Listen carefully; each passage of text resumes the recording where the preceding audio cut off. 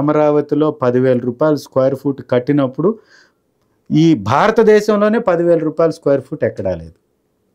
Right. ఫైనల్గా ఒకటి చెప్పండి. వైఎస్ఆర్ కాంగ్రెస్ పార్టీని విలీనం చేసే పరిస్థితి ఏమైనా ఉంటుంది? అవసరం ఏముంది సార్? వారి పార్టీ మా దానిలో విలీనం కావాలి తప్ప వైఎస్ఆర్ కాంగ్రెస్ పార్టీకి మేము ఎవరిని అనలేదు. ఇప్పుడు ఇంతసేపు మాట్లాడిన దానిలో కూడా తెలుగుదేశం మేము అనలేదు. బీజేపీలో విలీనం అయిపోద్దని విమర్శించేవాళ్ళు. ఇప్పుడు అదే కదా ఒంటరిగా పోటీ చేసి సింగిల్ టైం కూడా గెలవలేదు. తెలుగుదేశం పార్టీ.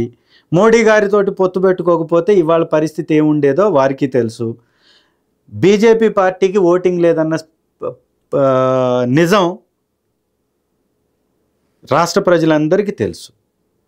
బీజేపీ పార్టీకి ఈ రాష్ట్రంలో one point six percent voting ఉంది. అంతకు మించి లేదు అన్న సంగతి తెలిసి కూడా పదమూడు పద్దెనిమిది శాతం దాకా కూడా వచ్చింది.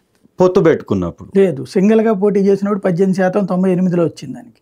రెండు వేల పంతొమ్మిదిలో ఎంత వచ్చింది సార్? మూడు పాయింట్ ఎనిమిది శాతం వచ్చింది. మూడు శాతం పాయింట్. ఎనిమిది శాతం ఉన్నటువంటి ప్రీవియస్ది తీసుకుందాం సార్. పాయింట్ ఎనిమిది శాతం ఉన్నటువంటి పార్టీ తోటి పొత్తు పెట్టుకున్నారంటే లోపాయికారి ఒప్పందాలు ఏమి జరిగాయని అడుగుతున్నాం.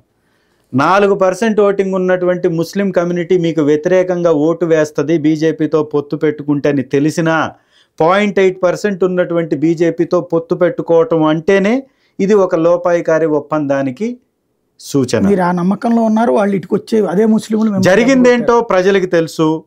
మేం ఖచ్చితంగా నమ్ముతున్నాం. ప్రజలు మా వైపున ఉన్నారు. మేము పోరాడతాం. ఖచ్చితంగా మళ్ళీ గెలుస్తాం. మాకు నమ్మకం ఉంది. మా పార్టీ అనేటటువంటి పార్టీ వైఎస్ఆర్ కాంగ్రెస్ పార్టీ ఈ రాష్ట్రంలో అతి శక్తివంతమైనటువంటి పార్టీ. వాళ్ళలాగా.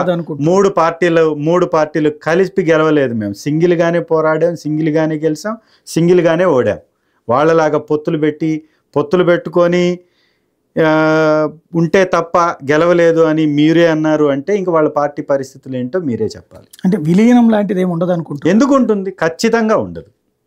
థ్యాంక్ యూ థ్యాంక్ యూ ఇది